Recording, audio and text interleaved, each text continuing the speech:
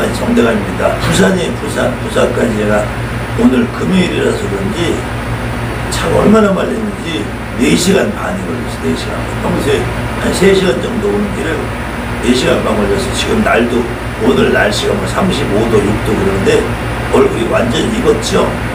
아무튼 이 원래 이 신당에 이렇게 글문이 모셔져 있었어요, 글문이. 글문이 모셔져 있는데 선생님들이 처음부터 이렇게 등불이나 이 태화를 놓으면은 눌린다. 그래가지고 글문을 해주는데요. 좀 야박하지만 실질적으로 이 정도의 글문은 이게 한 장당 거의 5, 6만 원씩 해요. 저 태화도 저 정도면은 한 5, 6만 원밖에 안 된단 말이에요. 물론 이제 그 등불은 어, 비용이 조금 들어가지만 그래도 이 글문을 놨을 때보다 저렇게 놓으니까 여러분들이 보시기에도 신당이 꽉 차 보이고 좋잖아요. 어쨌든 오늘 여기 보자는 어, 한 2년 정도 신령님을 모시고 있었는데 아무튼 내가 마음속에 뭔가 부족하다 해서 어제 구슬하고 제가 부랴부랴 내려와서 어, 이게 구슬하고 그러니까 내가 마음이 뭐가 이렇게 좀 모셔도 좀 자신감이 생기는 것 같다 해서 어, 모셔주러 내려왔는데 제가 어, 여러분들에게 조금 설명을 해드릴게요. 이게 한문으로는 이게 계문이라고 해요. 계문.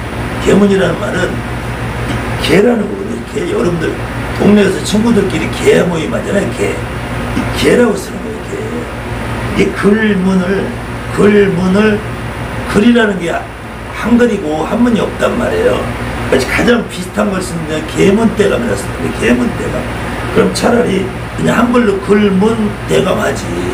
글문대감하지. 여기 보면 또 다른 걸 보면은 여기 보면 대신 할매 그렇게 돼 있죠. 할매. 할머니도 아니고. 이게 아마 여기가 경상도라서 할매라고 그런 것 같은데 대신 할머니라고 하지. 여기는 한글로 썼잖아요. 여기는 한글로 썼으면은 여기도 글문을 계문이라고 하지 말고 글문이라 한글로 써도 되잖아요.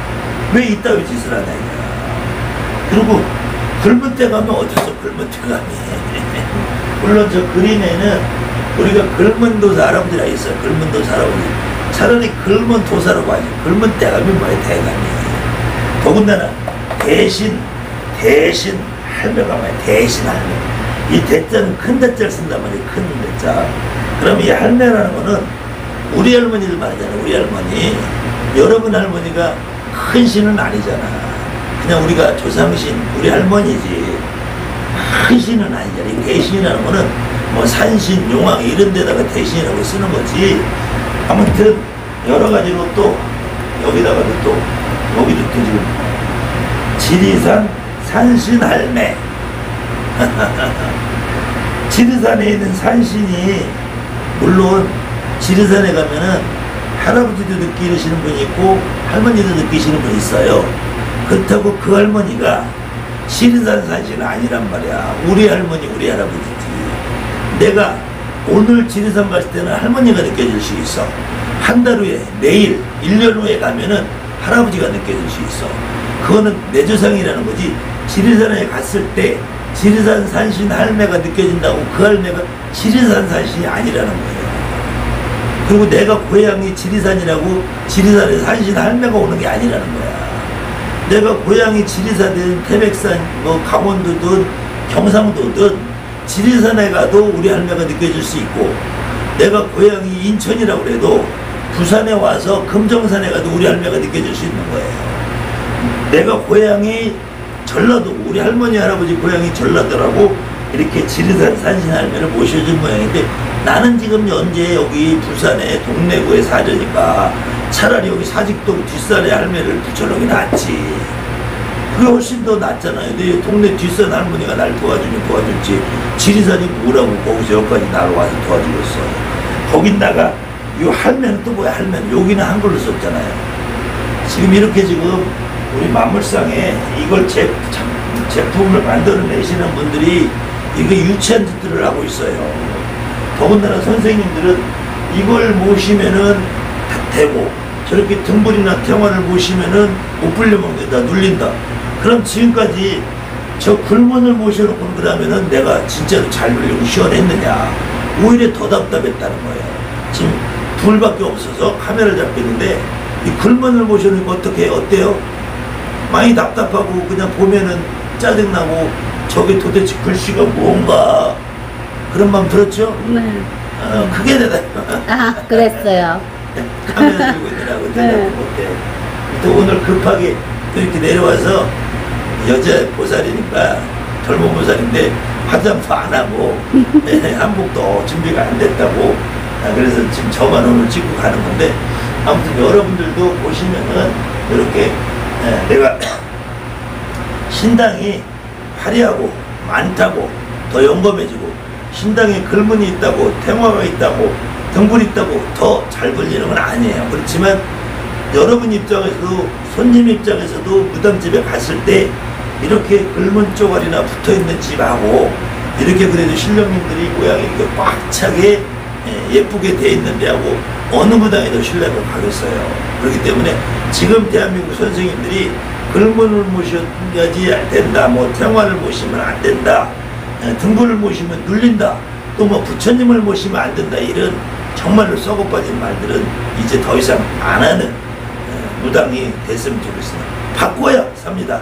생각도 바꾸고 행동도 바꾸고 내가 자신 있게 신령들을 모시고 이렇게 손님에게 그것도 일종의 손님에게는 서비스 차원이야. 내 얼굴 대신이란 말. 내 몸에 있는 우리 할머니 할아버지 대신하고 우리 할머니 할아버지들 이렇게 시시한 글조가리다 가, 가둬놓지 마시고 그래도 어제 구슬하고 오늘 이렇게 모셔놓으니까 어때 보면 볼수록 저 할머니는 내 할머니 같고 저 할아버지 내 할아버지 같고 특히 오늘은 동자에 계시더니까 막 그냥 마음이 막 신나서 죽겠죠? 네. 아, 좋아 죽겠죠? 네. 그런 마음이 드는 거예요. 글만 글문으로 여기다가 글문으로 여기 지금 칠선녀라고 돼 있거든요. 칠선녀. 그 다음에 동자 동녀라고 써 있잖아요. 이거 볼 때는 아무 느낌 없었죠? 네, 네. 출선녀 저 글씨가 뭐야? 뭐 동자 동녀 글씨를 봐도 동자동녀가 전혀 안 느껴졌죠? 네, 안. 근데 지금 여기 이렇게 우리 애기씨들 와 있는 거 보니까 막 내가 막다더 신이 나고 저기 내가 앉아 있는 것 같고 우리 애기씨가 그냥 몸에 그냥 저절로 실리는 것 같죠? 네, 네. 그런 거예요. 어, 이거 글씨 이거 그 다음에는 성숙 장군 돼 있어요. 성숙 성숙 물론 이 숙자는 여러분들이 예, 여인숙 할 때 숙자예요. 성숙이라고 쓰는 것이 아니에요. 여기는 머리 숫자 성수라고 해요. 성수 이북부 타시는 분들도 성수 대신 할머니 성수 때가 할아버지 성수 장군을 성수로 써야 돼. 수 숙이 아니라 정말로 이, 이, 이 글문이라는 걸 만드신 분들이 좀 사실 좀 너무 무식한 것 같아요. 아무튼, 이런 것들 좀 보시고, 에, 설령 글문을 모셔도, 에, 글문을 모셔도 좀 제대로 된 글씨를 쓰고, 이 개문대감 이런 거는 좀 쓰지 말아야지. 개문대감은 뭐야? 개문대감은 뭐냐? 개문대감이 글문이라고 하지, 차라리 한글로. 아니면 문은 있으니까 글문 아니 그러니까 글이라는 거나 문이나 똑같잖아요. 요즘 마음속에 문자 대신이라고 또 있더라고. 참 애매해요. 네, 아무튼 거는 여담으로 들려드린 것이고 기본은 이렇게 모셨을 때 무당이 더 자신감이 쓴다. 글문 쪼가리나 모셔주는 선생님은 여러분들이 피하세요. 미리 처음부터 저 내리급 받으면 신당에 태화, 등불 다 모셔줍니까? 그렇게 확답을 받고 구슬하세요.